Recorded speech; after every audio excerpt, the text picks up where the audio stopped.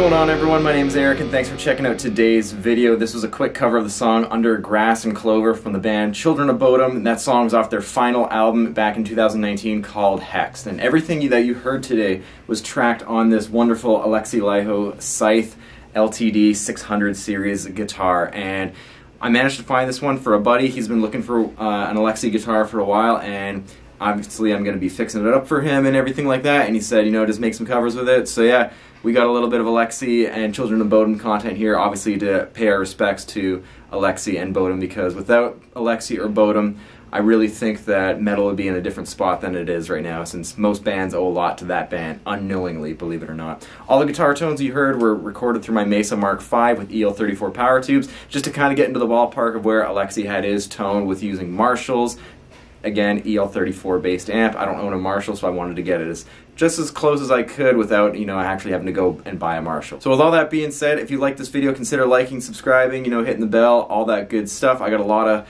content on my channel, whether it's Pantera based or maybe a little bit more like Alexi Laiho, Children of Bodom style content going on here, and as well as other covers, other songs, gear demos, and all that good stuff here. Everything's pretty well nutrient rich, you know, over on this channel for you guys. So thanks for checking this out consider doing all the following that I just mentioned, and I will see you in the next video.